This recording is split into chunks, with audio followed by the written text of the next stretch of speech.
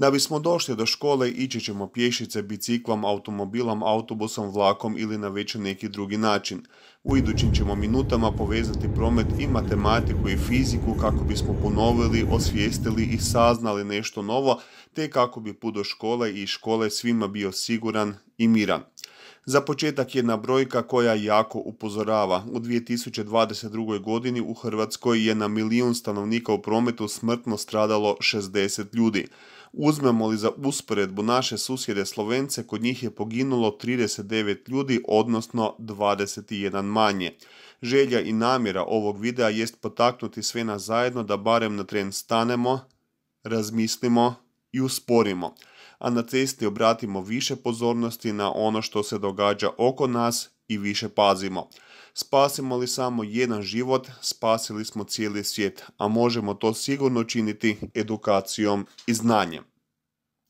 Za početak jednostavna priča o brzini. Vozimo li 50 km na sat, znate li da u jednoj sekundi prođete 13,9 km? Vozite li 80 km na sat, u sekundi prođete 22,2 km. Vozite li po autocesti 130 km na sat, u sekundi prođete 36 metara.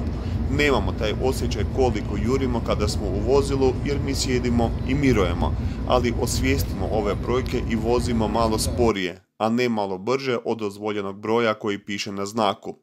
Ako nam iza školskog autobusa dijete neoprezno krene na cestu i mi ga ne vidimo pri brzini od samo 30 km na sat, mi u sekundi prođemo 8,3 metra i vrlo je upitno hoćemo li stati na vrijeme. Zato je uvijek najbolje pričekati školski autobus i pustite ga neka ode. Vrijeme reakcije vozača od 0,8 sekundi do 1,2 sekunde i sve ove udaljenosti vi ćete već prijeći, a da vjerojatno nećete ni početi kočiti. Ako pak ste baš ovisnik o brzini, izvedite se na koju auto utrku ili speedway utrku ili što više volite i tamo pokažite svu raskoš svog talenta u strogo kontroliranim uvjetima. Pobjedite i pokažite drugima da ste najbolji bez da ugrožavate sudionike svakodnevnog prometa. Ili si unajmite stazu za karting ili motor i jurite pazeći na sebe i druge. Nastavljamo našu priču o brzini. A što je sa zaustavnim putem? On ovisi o brzini, kočnicama, stanju ceste, gumama, nagibu ceste, reakcije vozača i nizu drugih čimbenika. Zaustavni put čine vrijeme reakcije put kočenja. Prema njemačkom Adaku vozimo li brzinom 60 km na sat, zaustavni put je duljine 54 metra, što je dulje od dužine rukometnog igrališta, a pri brzini od 100 km na sat, zaustavni put je duljine 130 metara, što je dulje od nogometnog igrališta. Kočenje u nuždi može prepoloviti put kočenja, ali treba snažno i na vrijeme reagirati. Put kočenja se ne povećava proporcionalno brzinom, već kvadratom brzine. U četvorostručelnu brzinu s 30 km na sat na 120 km na sat put kočenja neće biti dulji 4 puta, već 16 puta. Put kočenja može biti puno kraći, ali nikad ne možemo znati u kakvoj psihofizičkoj i zdravstvenoj spremi vozač ili možda ometen mobitelom ili ima možda zdravstvenih poteškoća i uvijek treba biti na oprezu jer nažalost može vam se dogoditi da pogriješimo samo jednom. Kod prelaženja ceste ili zebre dobro je znati ove brojke i samo iskustvom i maksimalnom pažnjom na prometnicama možemo izbjeći probleme. U prometu maknite slušalice, mobitele i sve drugo što bi vas moglo omesti. Radije razgovarajte, družite se, gledajte što se događa oko vas i pazite i na sebe i na druge.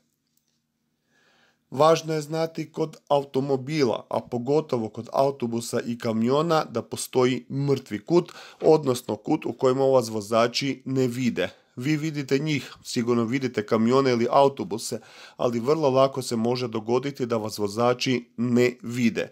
Budite toga svjesni i nikada nemojte ići sa strane ili pokraj njih, a da niste uvjereni da to možete napraviti na potpuno siguran način.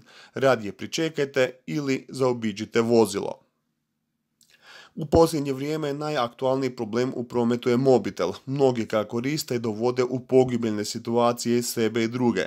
Ako ste pješak ili biciklist, najranjiviji ste u prometu i maknite i mobitel i slušalice i slušajte i promatrajte što se događa oko vas. Reakcija vam može spasiti život.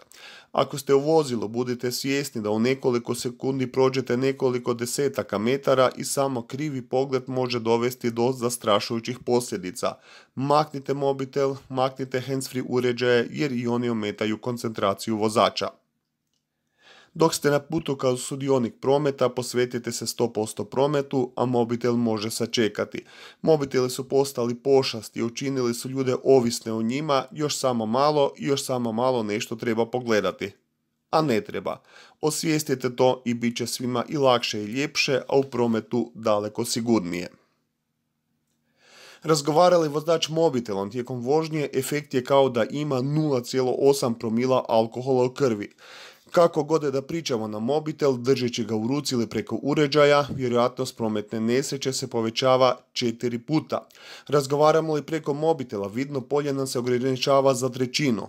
Ne treba nam to. Maknite mobitele i uopće ih ne koristite ni u kom obliku. Nikad.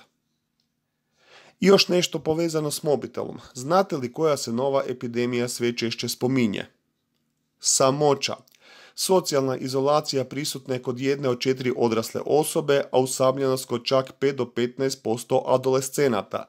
Zato maknite mobitele, razgovarajte, smijte se, družite se, izmamite li nekome osmijeh, uljepšali ste mu dan. Nasmiješite li se nekome njegov je dan mrvicu ljepši i veseliji. Pa samo i najobičniji dobar dan već nekome može poljepšati dan. Ekrane svih oblika i veličina što više maknite iz života i družite se s prijateljima iz škole, ulice, obitelji, prošećite, izađite u kino ili na sladoled ili što već volite, plešite, izvedite se s obitelji na izlet, posjetite nekog od rodbine koga dugo niste vidjeli, volontirajte, smislite što god vam je srcu drago i smanjit ćete i broj minuta pred mobitelom, osjećat ćete se ispunjenije i bolje, a bit će vam i ljepše u školi.